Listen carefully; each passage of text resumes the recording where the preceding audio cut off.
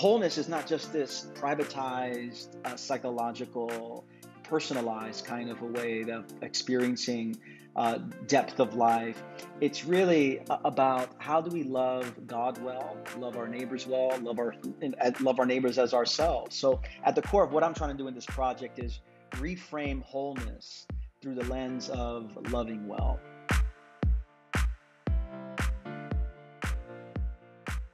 Thanks for joining us today. So good to be with you. Thanks for the kind invitation. Yeah. well, I, I, think this book is uh, perfect for what we're going through right now. Now, you, you pastor a very large, diverse uh, congregation. Just curious, did this come out of what you were seeing from the people in your church?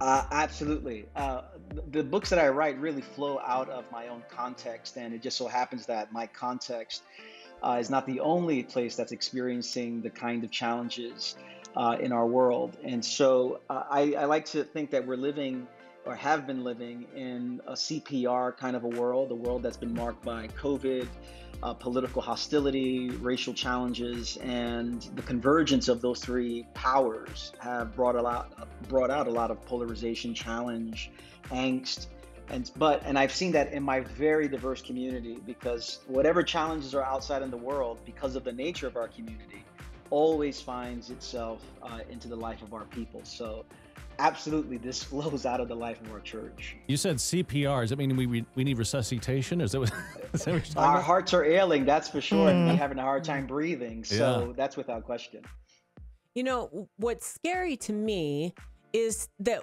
it seems that we're almost getting used to the hostility. Like mm. we're getting used to everybody choosing a side, even to the violence that's going on. The other day, I was so appalled to see like a subscript, uh, mass shooting here, and then it went on to, and the local celebrities doing this and that. And I was just, yeah. whoa, you know, what has this world come to kind of moment? Yeah, it's such a transient in terms of what, what what's viral, uh, what moves from one thing to the next. Uh, we have, I think, become very numb uh, to the nature of the world that we're living in right now, which for followers of Jesus uh, presents, I think, a great opportunity for us to hold space in really intentional ways and not move on too quickly, uh, but to really discern what might God be saying to us in this moment. Well, the title of your book, Good and Beautiful and Kind, sounds wonderful. So what what inspired a title like that? You know, the title emerged from a poem that I read a number of years ago from the, the great African American poet Langston Hughes. Uh, mm-hmm. Hughes wrote a poem entitled Tired. And a lot of people know what that feels like. And he says, I am so tired of waiting, aren't you, for the world to become good and beautiful and kind. Let us take a knife and cut the world in two and see what worms mm. are eating at the rind. And that poem really speaks to the longing of our souls, the longing of our society for goodness, for beauty, and for kindness and also uh, it's a recognition that there's something beneath the surface of our lives and our society that's really keeping us from living in that reality so mm. the title from that book emerged from that really powerful and beautiful poem mm, mm. i love that uh, you know, going back to what Sally said, like you turn on the news, uh, you turn on, well, not our radio station, but you turn on other stations, and it just reinforces how messed up everything is. And then here you are, on the other hand, talking about wholeness. And I was hoping you could expand mm. on that some. You know, when I think about wholeness, there's a number of words that come to mind. I think of words like integrity. I think of words like integration, like our, our lives, the various parts to our lives are held together.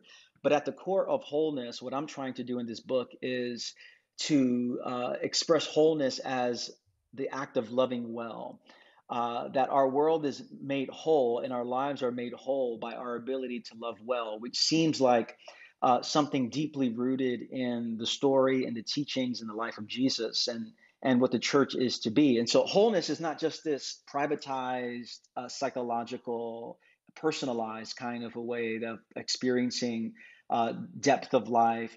It's really about how do we love God well, love our neighbors well, love our love our neighbors as ourselves. So at the core of what I'm trying to do in this project is reframe wholeness through the lens of loving well. Mm, that's good. Uh, you do talk about how often we, we have a lack of awareness of the spiritual powers and principalities in our culture, and that possibly we're being used by those. What? Mm. wow. You, know, it's interesting. Uh, you know, Paul in Ephesians 6, he talks about we don't wrestle against flesh and blood, but against these powers, these rulers, these authorities, and that we cannot see. And when I think about what's happening in the world, it's very easy to point the finger at this is what's wrong, this is who's wrong, this is why the world is in the mm-hmm. state that mm-hmm. it's in. And certainly, uh, as human beings, we have responsibility for the decisions that we make. At the same time, the biblical story helps us to see that there's something that we're often not seeing with our eyes, that there are larger powers that are at work in our world that find their way in individuals, ideologies, and institutions that have a way of depersonalizing, that's marked by deceit and deception, that's marked by division. And um, the powers that are at work, you know, it's very easy. I, I became a Christian in a Pentecostal context. Uh, and whenever something wasn't working, it was always some demon. You know, if, if, if, the PowerPoint wasn't working, we, it was some demon's responsibility. so we had to pray. Uh, and so every everything was a demon if something went wrong. Uh, on the other end of the spectrum, uh, in a very modern and postmodern world, uh, folks don't even have the language to think about larger forces that are at work in our world. But I think Christians are to hold on to this tension that no, not every problem is attributed to Satan and, and demons and such. Uh, but there are some forces that are out in the world that are wreaking havoc. Uh, and so in my office, I have on my, my whiteboard a question that as a pastor I like to think on on a regular basis. And the question is, am I being used by the powers? Mm. Uh, is my are my words, is my life, are the decisions now being marked by uh, that kind of depersonalization, deception, and division, or am I uh, being used by the way of the kingdom of God to work for something that is holistically in contrast to that. But there are larger forces at work in our world for sure that we must contend with. You know, it's a good mm-hmm. point that anytime I think you entertain something that's obviously of the enemy, aren't we agreeing with him? You know? Mm. Yeah. Mm. And, mm-hmm. and I, if I speak that thing, that thought, that's that's saying what he would say. So, mm. yeah, I mean, we, we have to be aware of what's going on there. Absolutely, and and it's very easy. You know, we we like to say, um, uh, you know, Jesus might live in your heart, but Grandpa lives in your bones. That's a phrase that we use in our church. So there's some there's something historical to our lives that forms us very deeply, and the same can be said about the larger forces around us. Uh, it is possible. There's a very fascinating passage of scripture where Peter confesses Jesus as the Messiah. And then, you know, two verses later, Jesus says, Get behind me, Satan, to the same guy who just confessed him as the Messiah. And what Peter was, he was so caught up in a worldly system that the Messiah could not experience the kind of suffering and pain and death that was that he had no imagination for that and he was trying to keep Jesus from what Jesus came to actually do. And so, in one minute, he's being used by God, in another minute, Jesus is saying, You're being used by the devil right now. And I think that's kind of the reality for many Christians. In one minute to the next, in a New York second, we can vacillate and be used by God or be complicit with the larger powers around us. And I think that's a call to great humility and discernment in our lives. Mm. Not that I should tell someone to get behind me. Uh, Maybe not. Yeah. exactly. Uh, you know, a lot of us have gone through something uh, traumatic in our lives. I think you're probably hard pressed to find somebody who hasn't, honestly.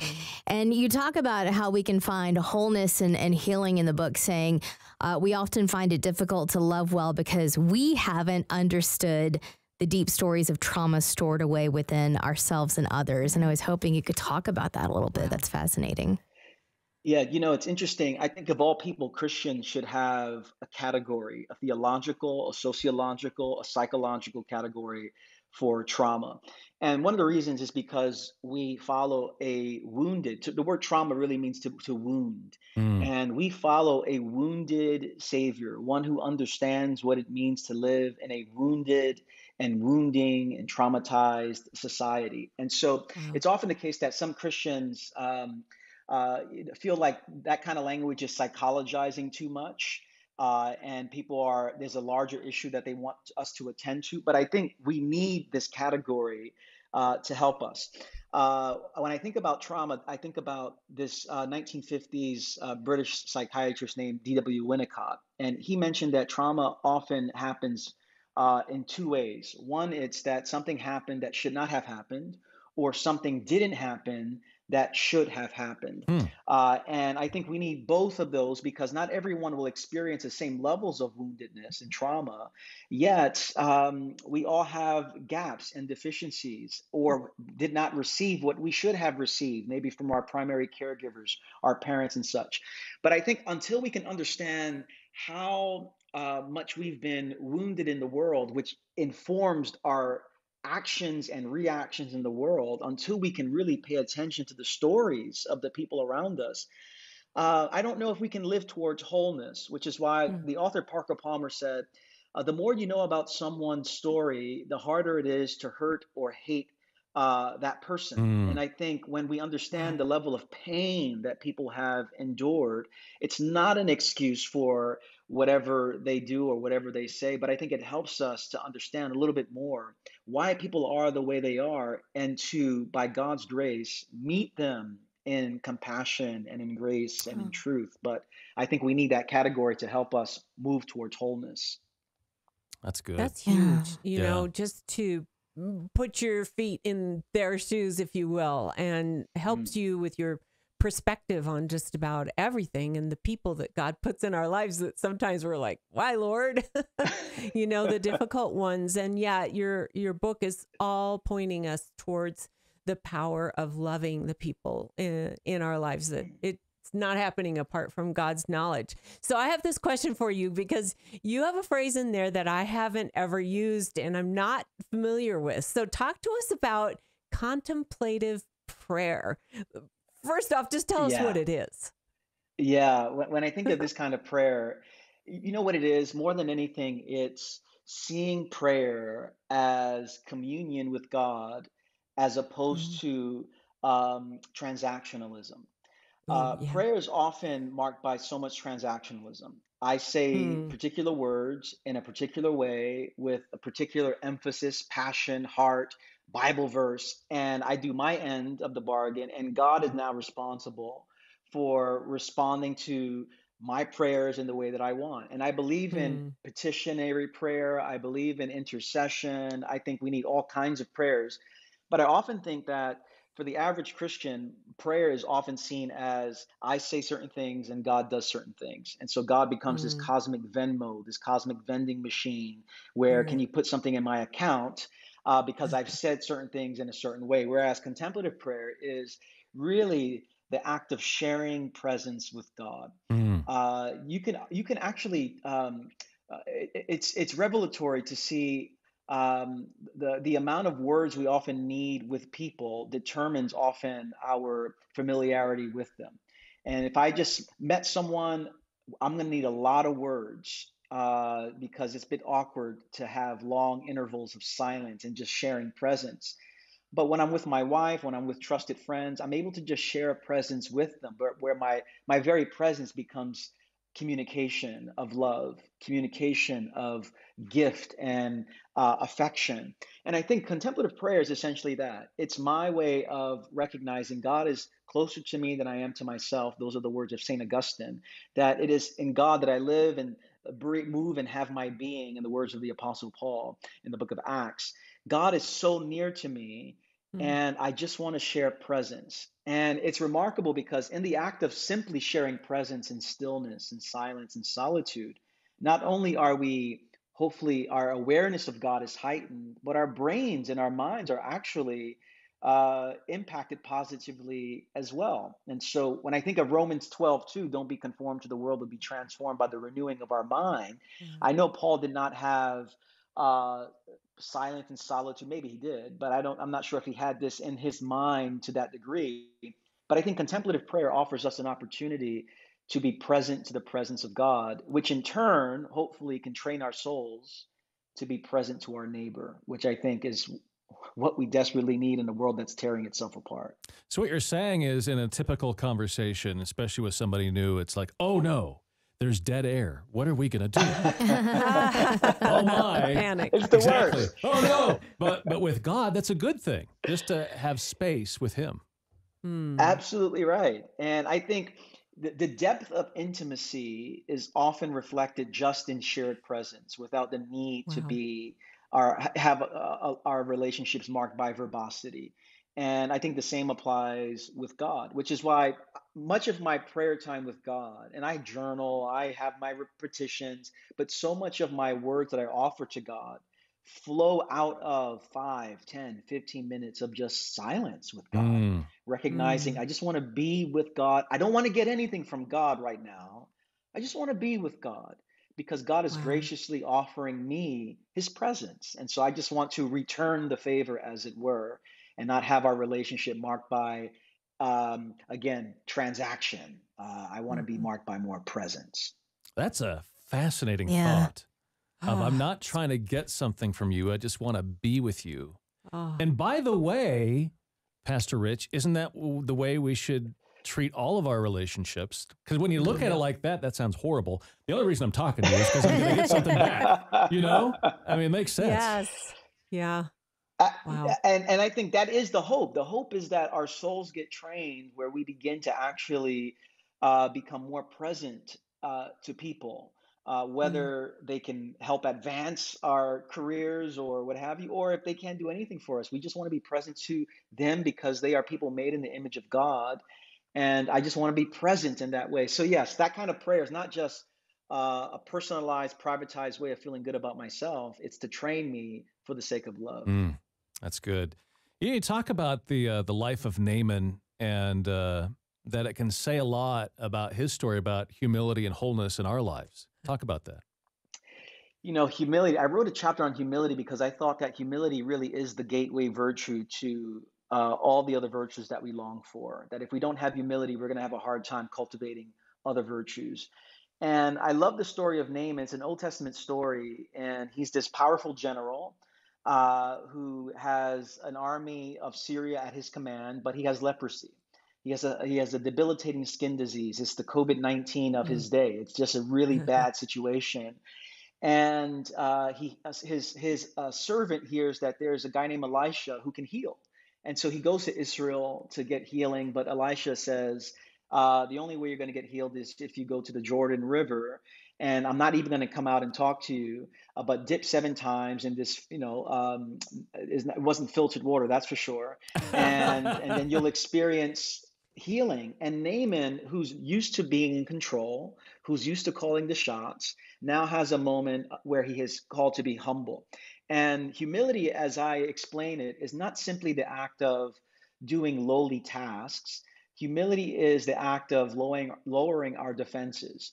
Uh, humility is a way of being in which there's nothing to prove, nothing to possess, nothing to protect. protect. That's humility. In a world that is so defensive, in a world that is so self protective, humility says, I am not going to live by the way of self protection, possession, or proving myself. And that's what Naaman does. He takes off the armor, he does the humble thing, experience wholeness. And I think that's the invitation before us. To the degree that we are moving in uh, our lives in the way of humility, is the degree that we will experience personal and interpersonal wholeness that our lives and our world desires. Mm, that's good. Yeah. Um, I think, and humility plays a lot into uh, forgiveness. And, you know, like, yeah, yeah, I know so many people, speaking from personal experience, that struggle with being able to, to truly forgive, uh, you know, and do you think that we are moving farther away from that capacity to be able to do that? Just in this crazy world that we live in. And, you know, I was hoping you would talk about that model for extending forgiveness uh, and reconciliation that you lay out in the book. Yeah, you know, when I think about forgiveness, yes, I think the world that we're in is increasingly less forgiving. I think. I think we have so polarized ourselves uh, that it's a category that people have no room for. But I think part of part of the challenge of forgiveness even before the age that we're li- living in right now, is for, forgiveness has not uh, b- been seen in comprehensive ways. as Christians, we are taught we need to forgive. And so it's often been something that we've done with our words, but without recognizing the larger hurt, the larger process of grief and lament that needs to speak to the ways that we offer forgiveness. And so I remember reading a book a number of years ago uh, called Don't Forgive Too Soon. Don't Forgive Too Soon, which sounds like, what? What do you mean? and uh, what I found helpful about that is the, the writers, uh, Matthew and Sheila Linn, uh, use the five stages of grief as a template to understanding forgiveness as well. Oh, and I just found it so helpful because uh, in the five stages of, of, of grief or the five stages of dying, you know, it's like it, there's denial, there's anger, there's bargaining, there's depression, there's acceptance. Hmm. And in forgiveness, it's often denial where I don't admit that I was hurt and that, you know, I, I forgive you. Don't worry, I wasn't hurt. Or then there's anger, you know, it, it's your fault that I'm hurt. And there's bargaining where I set up conditions before I'm ready to forgive. And then, you know, it might be depression where it's my fault that I'm hurt. And then acceptance, you know, I look forward to uh, growth from the hurt. But I think Christians so easily uh, have uh, this truncated view of forgiveness where if you don't do it immediately, uh, that there's something wrong with you. And I think that requires um, a, a greater patience to our own humanity uh, that there is hurt that we must grieve, and there are things that we must wrestle with. Uh, that our forgiveness needs to come from a deeper place. And so the reason Mm. why people carry for unforgiveness for so long is because they've never allowed themselves to actually go through this journey. They just said, Hmm. I forgive. And then it comes up three months later, oh, and you're holding it back again. But maybe we have not gone through the journey that we need to to explore actually what's happening in our world so that forgiveness becomes truly uh, a place coming from the depth and center of our lives by the grace of God. But I, I think in order to do this requires a much more comprehensive view of what forgiveness is. Wow. You know, as I look at the title again, good and beautiful and kind, I have to ask you, as God kind of birthed this concept and this entire book through you, how has it impacted your life personally?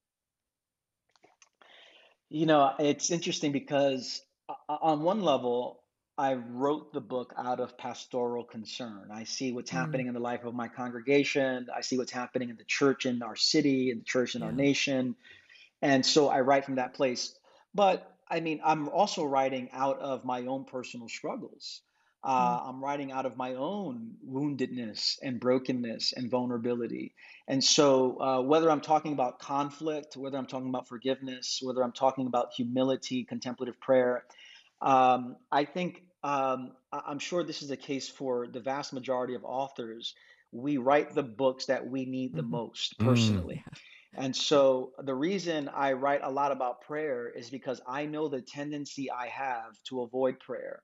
Uh, the reason I write a lot about, you know, forgiveness and humility is because I know deep down inside I do not want to live a life that there's nothing to protect, nothing to possess, nothing to prove. My life is often oriented around proving myself and protecting and and hoarding and possessing. And so uh, all the things which you'll find lots of personal stories in this book because it didn't ju- it did not just emerge out of just some ambiguous theology, uh, some theory that I'm just trying to make more palatable to people.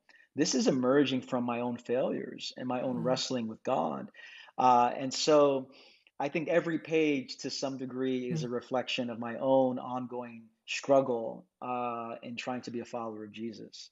Is Wow. there, uh, you talked about stories. Is there a story that comes to mind you could share? We love stories. You know, uh, because we just brought it up earlier, I think about the story of of um, of the trauma. Uh, you know, I recall uh, there are some people in my church. I know um, you and your listeners don't have any of these people in their churches, but um, Of it, it was not. just giving me a hard time. You know, just just uh, just I know it's only in New York. You know, uh, and and I remember I was about to have another conversation with this person who, like, every four months just sends me an email, and I'm just thinking, Oh, gosh, I have to have another conversation here. And as I'm waiting to have this conversation, I never forgot where I was. I was on Queens Boulevard uh, in New York City, about to make a left on the stoplight to get to the church. and dreading this conversation when uh, one of our fellow pastors called me and said, Hey, and I said, Hey, I'm meeting with this congregant. And I said, I'm just so frustrated and this is driving me nuts. And, you know, pray for me, all that stuff there. And the pastor said, Well, do you know uh, by any chance this person's story? And he began to tell within, you know, two minutes the level of loss and trauma and pain that this person has experienced over the years. I mean, catastrophic loss that I did not know. Mm. And he just simply said, you know what, when you're with this person, just keep that in mind. That doesn't mean you're going to excuse when they cross boundaries and when they say something that needs to be corrected, but just have that in mind when you uh, have this meeting with this person. And I'll tell you what, when I sat with that person after getting that greater understanding of their stories that was their story that was beneath the surface something shifted in my soul for this person where i was able to just be more present less aggravated less irritated. And certainly i did not walk in there with a sense of just you know i was not walking on water after that conversation here but there's something in my soul that was a lot more gracious and present because i did mm. know the story a little bit more of that person. And i think that's what we're called to in this moment. Can we take time to more and more learn the stories of the people that we are in relationship with, especially those that we don't see eye to eye with? And I think as we do, uh, we will. Uh, God will use that to form grace and compassion and love in our souls so that we can truly be present to them. So that's just one of the stories that uh, comes to mind in my life as a pastor. That's that's really good. You know, it just reminds me how important what you did say is that to try to find or get to know somebody, try to find their story. Uh, wouldn't it be fantastic that as you meet somebody, there's a sign above their head that says, "I've experienced trauma. This is what I'm going through." yes. But, so, so we don't have that background, and it's easy right. to get upset with somebody. But, but you're right. If we know what's going on in their lives, it adds. Well, you have empathy. You know. And, yeah. And to your and to your point, I think, I think we should just naturally assume that everyone has that sign over their head. Yep. No mm-hmm. matter where they're at, I think every person that we meet has experienced some form of wounded. Not everyone to the same degree, but we all have gaps in our lives. And I think if we can uh, have that recognition, it'll change the way we interact with one another. Yeah. Mm. You know, just Good. speaking for myself as I'm hearing you talk, I'm feeling so convicted of how often do I wander into a conversation so I can prove my point? And mm. I miss their story. It doesn't even occur to me to ask what their story is. And, you know, before I'm just in there saying, here's, here's my thoughts.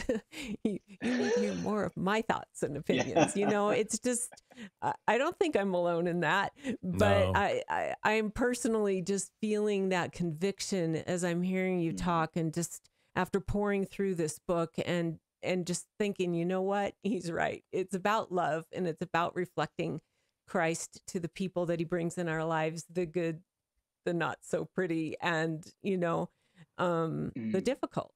So, mm. wow. Appreciate That's good. that. Good stuff. Mm-hmm. Well, one more question for you, then we'll let you go. Pastor, what brings you joy today?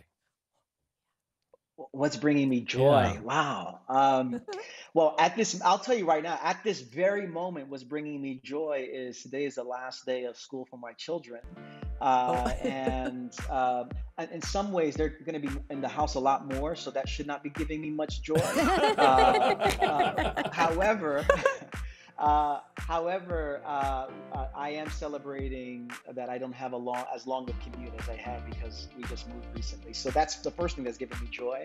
Uh, what else? What else is giving me joy these days?